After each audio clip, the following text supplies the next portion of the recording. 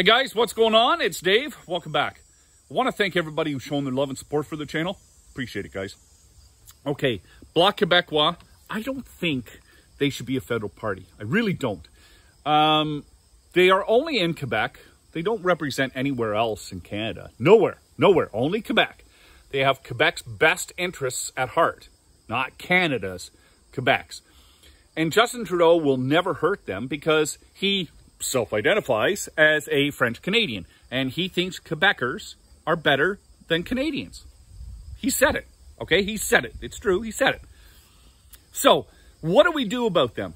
I think they need to be wiped off, gone. I don't think they should be allowed to run, and I think the next government that comes in needs to step up to the plate and says, hold on, you're a provincial party. You're not a federal party. Until you start representing the rest of Canada. Because for me, I can't be sure that the Bloc Québécois is going to do what's best for the rest of Canada. And that is something that all parties are supposed to do on a federal level. But I don't believe I could trust the Bloc Québécois to do what's best for Canada.